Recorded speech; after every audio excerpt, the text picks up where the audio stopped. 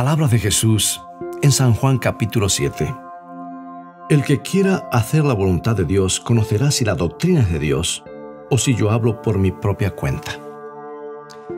Hay cosas en la vida que solo podemos conocer al practicarlas. Por ejemplo, el increíble arte de saltar desde los puentes. Para saber si funciona o no, podría ir hasta el puente con mi calculadora científica y suponer los hechos de, una perspectiva estrictamente matemática. ¿Tiene la cuerda el largo exacto para detenerme antes de alcanzar el suelo? Sí. ¿La elasticidad de la cuerda es apropiada para mi peso corporal? Sí. ¿El viento está soplando en la dirección correcta y a una velocidad adecuada? Sí. Por lo tanto, estoy seguro de que va a funcionar, ¿verdad? No.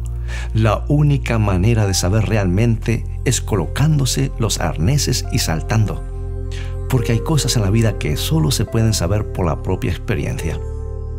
Es posible que te guste leer libros o mirar documentales sobre la exploración de la selva amazónica, pero la única manera de saber cómo es la experiencia es saltando de un avión y llegando hasta allí.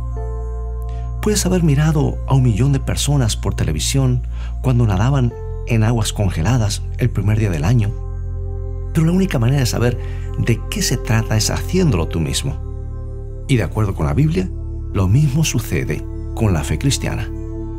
Hay personas que han memorizado una gran cantidad de datos y pueden ganar casi todos los debates en los grupos de estudios de la iglesia. Pueden recitar los libros de la Biblia y conocen todos los fundamentos de la fe cristiana de memoria. Es posible que hasta hayan leído las obras maestras de notables escritores cristianos y tengan un doctorado en teología, pero Jesús enseña que eso no basta.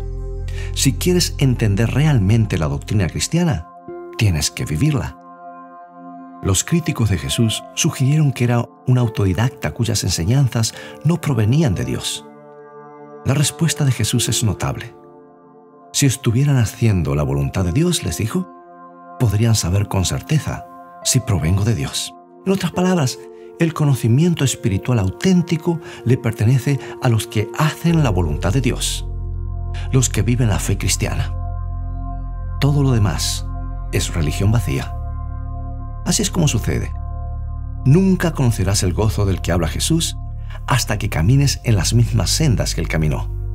Nunca conocerás la paz y la satisfacción del que habla Pablo hasta que transites el mismo camino que él transitó siguiendo a Jesús. Nunca verás los milagros espectaculares que presenció Moisés hasta que tengan amistad con Dios que tuvo él. Si realmente quieres captar el meollo del contenido de este libro, si realmente quieres entenderlo, deberás vivir sus enseñanzas. Deberás vivirlas en tu vida.